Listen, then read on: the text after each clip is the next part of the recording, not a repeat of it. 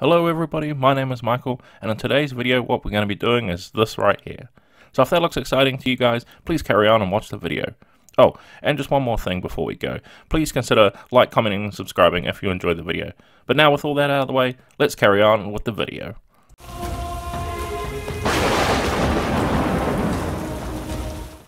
Okay, so once we have everything all nice and primed, what we're going to be doing is we're going to start off with some Barbarian Flesh. Now, I just primed this up here with uh, just a nice simple uh, neutral grey here by Vallejo. And all we're going to be doing with the Barbarian Flesh that we're applying now is we're just going to be applying it everywhere it has the skin exposed, which is just on the face. So nice and easy step right here. So with Rob's face painted up, we can move on to our next step, which we're going to be using dirt spatter here. And for the dirt spatter, what we're going to be doing is we're just going to be applying it on his hair, because uh, Robb Stark has a very uh, brownish hairstyle. I'm going to be adding in a little bit more of that uh, orange feel since he has part uh, Tully in there, and they say he has a little bit of orange in his hair, so we're going for that brownie orange look. And to start that off, we want to use dirt spatter.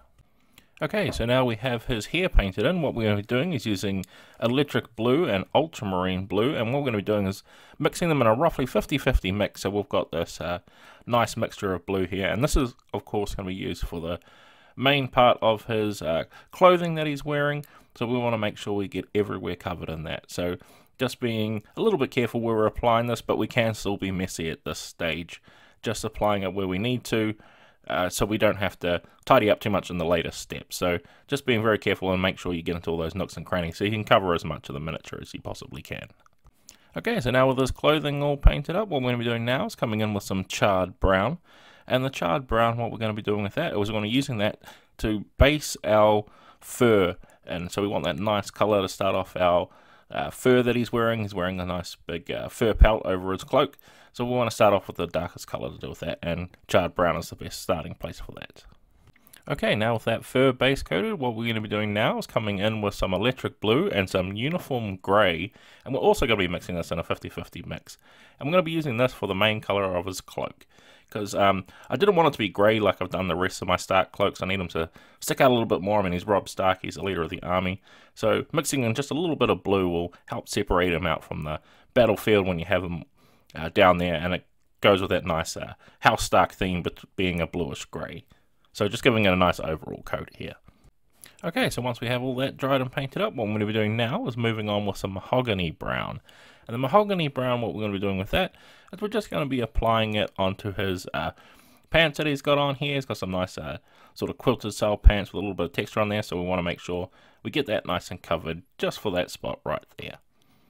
Okay, so once we have Rob Stark's pants all painted up, I'm going to come in now with some Necromancer Cloak. And what we're going to be doing with the Necromancer Cloak is we're going to be using that to be painting up Rob Stark's gloves and boots. So giving them a nice overall uh, coat of paint here, just being very careful to not get it too far over anywhere else we don't want it to be since uh, Necromancer Cloak is quite a dark colour and we want to spend a little time cleaning that up as possible. But it's okay at this stage, we're still in the base coating stage. Okay, now with the gloves and boots complete, we're going to come in now with some leather brown. And what we're going to do with the leather brown is we're just going to be applying it to his uh, belt that he has on here. So anywhere he's got sort of these leather belts, we want to be placing that. So I'm just being very, very careful not to paint over everything we've already painted. So just applying some paint very, very fine on these areas that we need to be placing this leather brown. Okay, now with his belts all painted up, what we're going to be doing now is moving on with some cavalry brown. And the cavalry brown, what we're going to be doing is we're just going to be applying it to the trim of his uh, main bit of clothing here. He's got this nice uh, trim around there, and rather than doing it a, a blue or anything like that, I wanted to have a, a stick out color, and Cavalry Brown being a reddish brown is going to really help with that and really uh, catch the eye to the whole piece, and it's just going to add a little bit of balance to all the colors we've got going on here. Okay, now with that trim all painted up, I'm going to come in now with some Castle Grey. And Castle Grey we're just going to be using to be base coating the rock that he's standing on, giving a nice overall coat, getting in all those nooks and crannies over all that uh, nicely sculpted rock in there, and just avoiding the boots that we've already painted up on there as well. Okay, now we have that rock base coated. What we're doing now is coming in with some fur brown. And what we're going to do with the fur brown is we're just going to be uh, dry brushing a little bit onto his nice uh, fur cloak that he's got over top of his cloak and giving that a good dry brush. Really trying to get all those highlights with that fur brown since it's a nice uh, separate color from the brown. It's going to help with that. And as well as that, we also want to use Monster Brown once that fur brown is dried to do the exact same thing and just go over top. And it's going to add uh, dimension and color to all the bits of fur and make it come out more like realistic fur. And of course, don't forget the little pouch on the side as well. That's also fur too. So don't forget to do that as well. Okay, now we have his fur all painted up. What we're going to do now is come in with some khaki.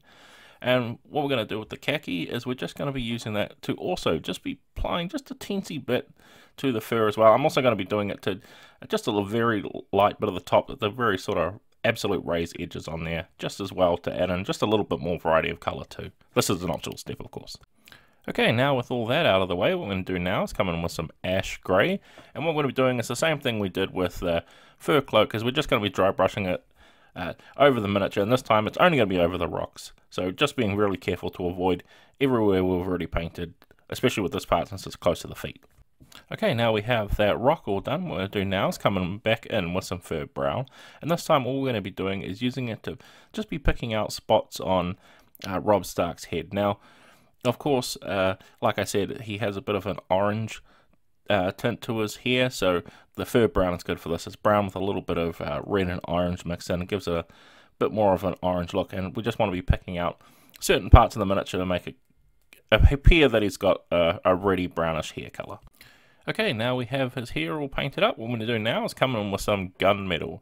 Gunmetal, of course, we want to be applying everywhere that he has his plate armor, his chainmail, everywhere he's got metal on, basically, is what we want to be aiming for, except for he has some uh, rings on his chest. We don't want to be doing those just yet. We're going to be leaving those, and as well as the uh, hilt of his sword, we're going to leave that as well. We just want to be doing the main part of the sword and his armor and the gunmetal.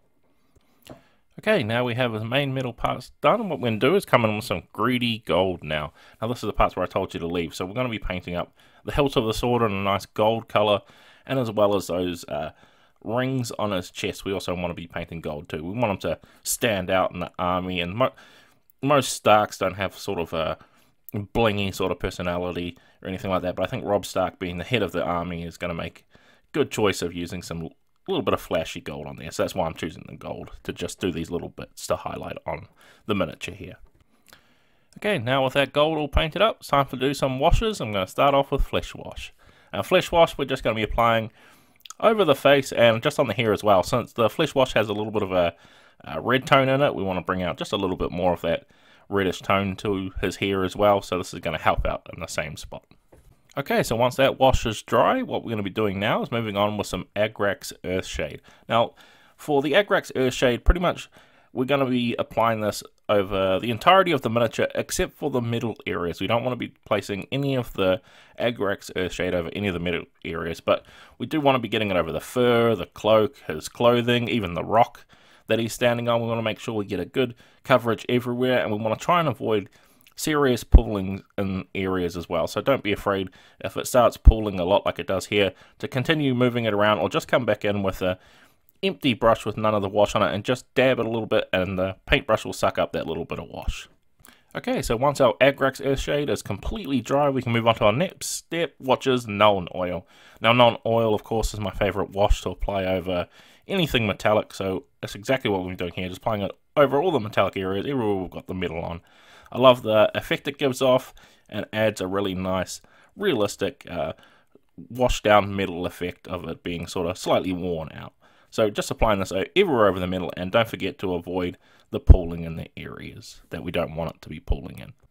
Okay, now with the Nuln Oil completely washed, time to come back in with some Barbarian Flesh here. And what we're going to be doing is just doing a few highlights on our miniature to really make it pop on the table. So for Robb Stark, we want to be just placing it everywhere the sun would sort of naturally hit, but we want to be hitting the high points on the miniature. So sort of the forehead, the nose, a little bit of the cheek, just places like that. Being really careful to not go into anywhere that we don't want it to be.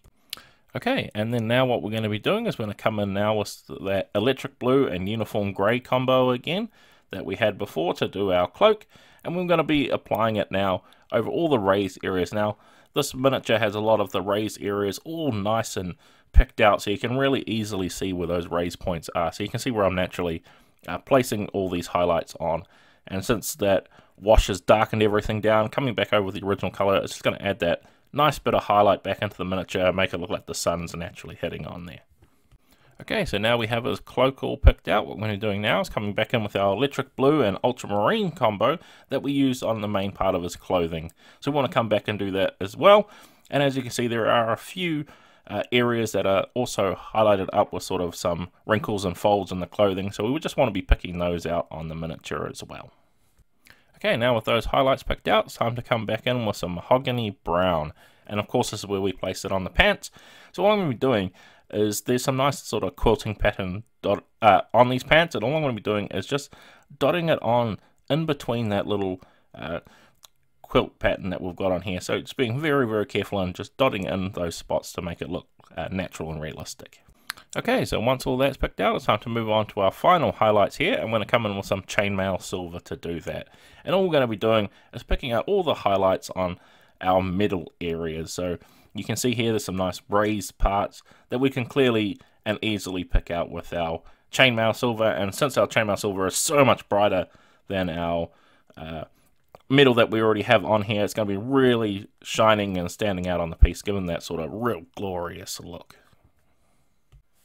And with all that done now, it's just time to paint up the base of the miniature here. So I'm just going to be painting it, and of course the nice stock standard black to give it that nice classic look. Now this is the point where you can uh, base it with the rest of your army to make it fit and match in, but I'm just going with a simple black here, just to show you guys and keep it nice and simple.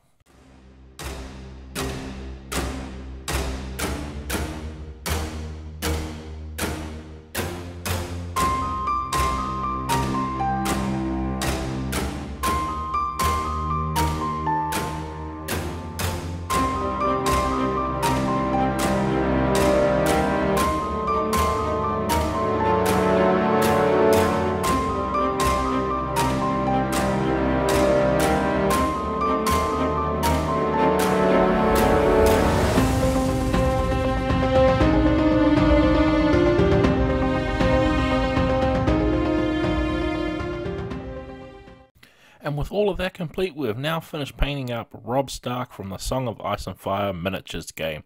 And you can see he's quite a standout piece on the table, which is what we're trying to do since he's an awesome commander. And I hope this video has been helpful for you guys, whether you guys want to follow along like me or just enjoy me painting up some cool miniatures. So once again, I'd like to thank you all for watching. If you enjoy, please consider like, commenting, and subscribing, and I'll see you guys in the next video.